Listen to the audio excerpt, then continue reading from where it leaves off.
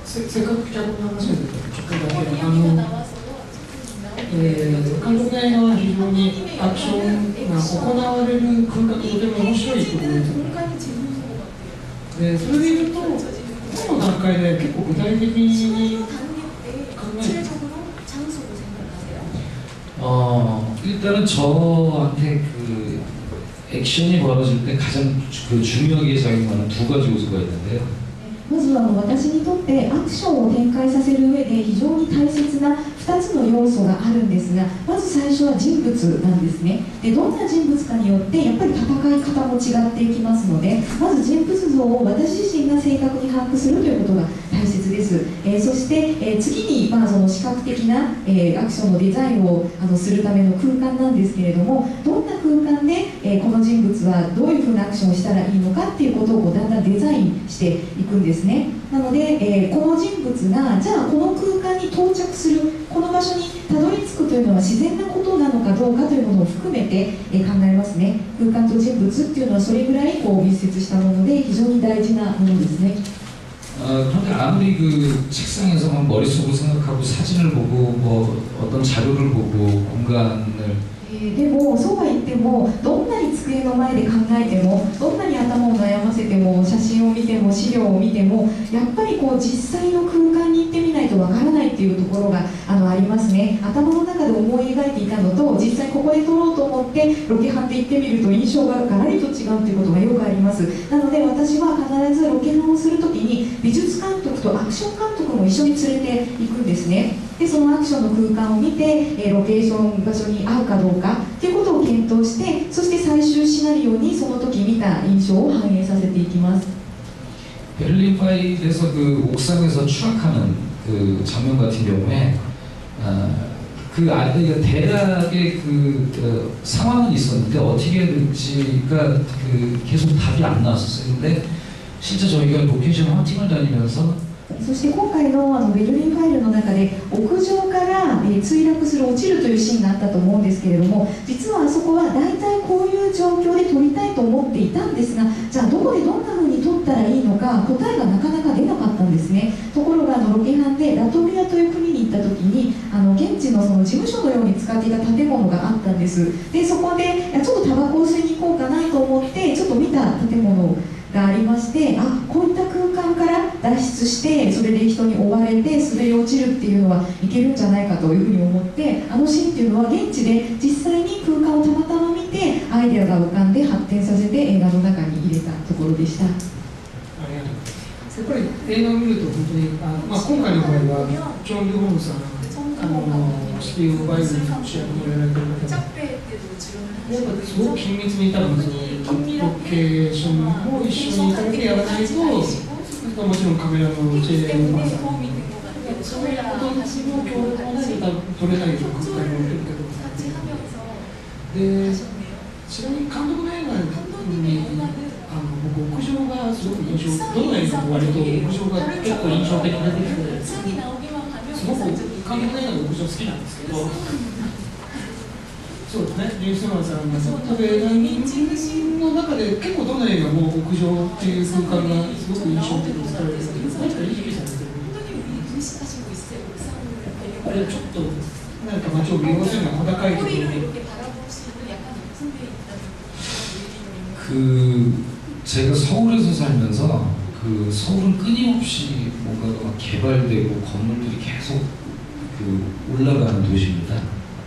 えーそういったことがあるのでこう屋上に行った時に一気に視界が開けますよねそういったものがだから個人的に好きなのかもしれないです 스태프들은 옥상에서 찍는 걸 되게 싫어합니다. 그 장비 올리는 게 힘드니까.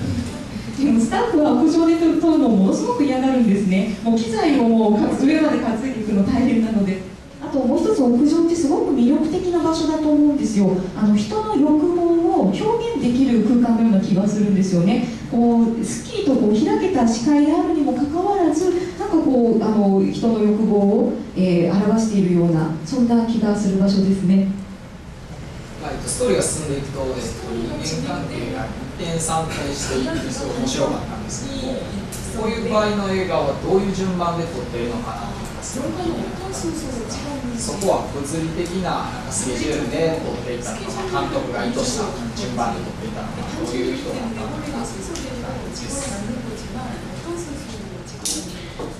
이게 외국에서 그 로케이션이 있어서 그 각본은 순서대로 찍는 것이 어, 거의 불가능했습니다. あの今回は外国でのロケーションだったものですから順取りもう順番通りに撮るっていうのは不可能だったんですねなので現地のロケーションでもう今日は許可が出ましたよっていうそれに合わせなきゃいけなかったんですよね許可された環境の中で撮ることになったんでもう順番もめちゃくちゃでした 그 베를린 초반에 나오는 그 옥스, 어, 호텔에서 거래 장면과 그, 그 한국의 그 정보부의 그 위장 차량 내부 えーそして今回のベルリンファイルの序盤に出てくるホテルでの取引のシーンあるいはあの韓国の、えー情報員たちがあの偽装車両にの中にいますよねああいったシーンそれから、えー情報局のシーン、えーホテルのシークエンスなどなどは、えーベルリンとラトビアと韓国でのセットで撮りましたのでその3箇所がこう入り混じっているところなんですね。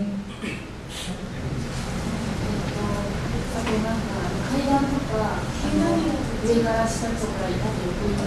위에서 민수용 선생님이 여기도 이 카로가 새로운 사람을 만들어냈다. 지성적인 문화가 연출인데 무엇을 이루시면 저희가 한국에서만 그들이 거래가 하기 시간을 이유가 어 글쎄요 그 무의식을 의식하기가 힘들죠. そうですねまず無意識を意識するっていうのは難しいんですけど 아, 근데 저는 사실은 그 저 스스로가 뭔가 이렇게 그 지금 영화를 만들어 가면서 어, 뭔가 어, 이렇게 어, 제가 만든 것 같은 흔적을 자꾸 남기지 않으려고 노력하는 것 같아요. 그냥 そうですね私はあの映画を作る過程の中でできるだけ自分が作ったっていう痕跡を残さない努力をしてるんですね毎回何らかのシナリオを書くわけなんですがシナリオが要求しているスタイルっていうのがあると思うのでそれを探して撮るようにしてるんですねなので逆に言うと私のスタイルが映画を支配してはいけないというふうに思っています 저희 취향대로 만드는 건 오히려 쉬운 방법인 것 같아요. 근데 아, 매번 등장, 그러니까 매번 새로운 인물들을 다루고 새로운 배경을 다루고 새로운 이야기를 다루니까 그것에 적합한 형식을 찾는 것이 저에게는 큰 숙제가 되는 것 같습니다. でもう私の好み通りに撮りたいように撮れれば本当にあのそれ以上楽なことはないと思うんですが作品 対新しい人物が出てきて新しい背景があり新しいストーリーがあるので、えだからそれにこう合わせた、え映画作りをするっていうのが私にとってはとても大きな宿題だと思っています。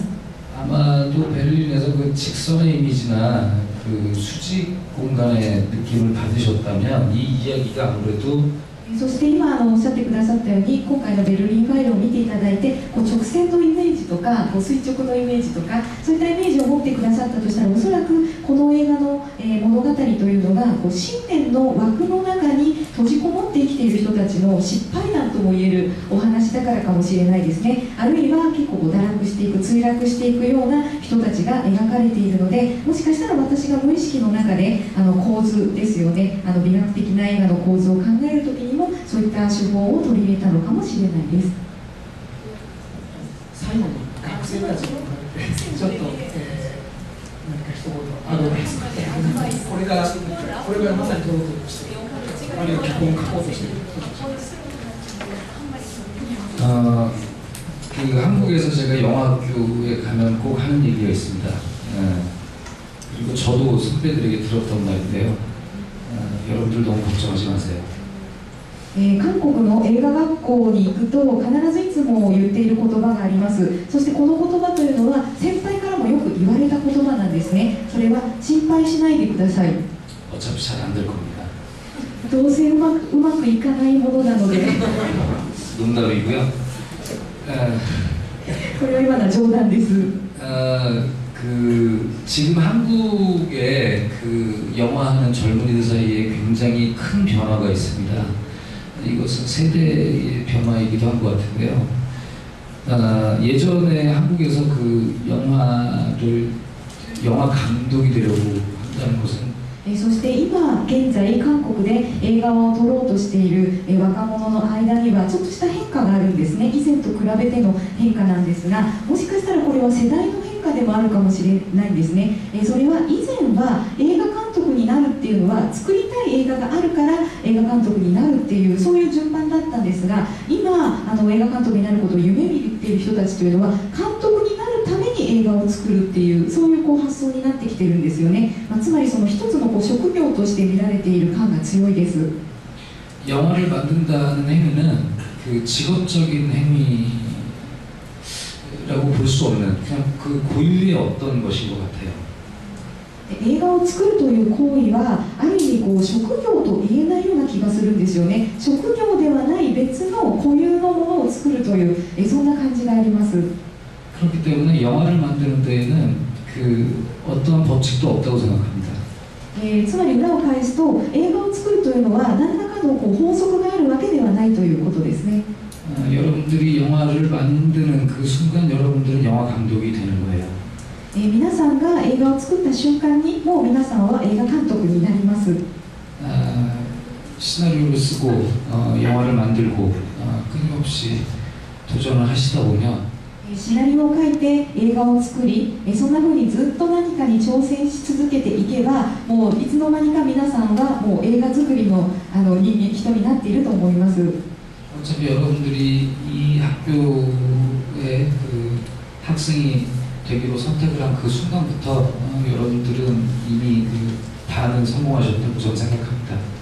もう皆さんがこの映画美学校の学生として選ばれた瞬間からもう半分はもう映画監督映画作りに携わる人になったと言っていいと思います 영화를 만드는 데 있어서 성공과 실패의 기준은 그 누구도 함부로 말할 수 없다고 생각합니다. えーそして映画を作るということに対してこれが成功だとかこれが失敗だとかっていうのはもう一言ではなかなか言えないものだと思いますそういった基準はあのないと思うんですよねなので皆さんが、えー望む映画が作れた瞬間っていうのはもう偉大な瞬間であり成功の瞬間だと言えると思います皆さんもしかしたらこれからも辛いことがあるかもしれませんけれども諦めないでいい映画を作っていってください 아, 앞으로 좋은 작품들 많이 만드시기 바랍니다. これからいい作品を作ることを期待してますどうもありがとうございます。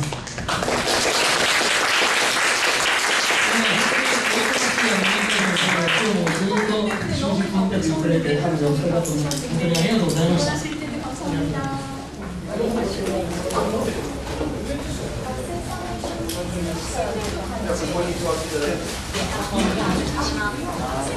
いません、ちょっと変更になりまして、学生さんと一緒に。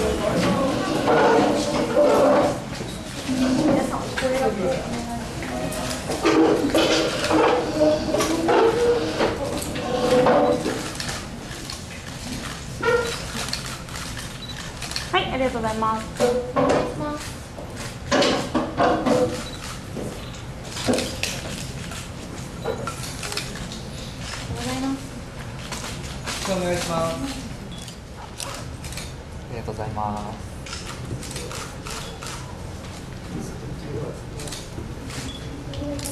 るそろそろ、はいはい、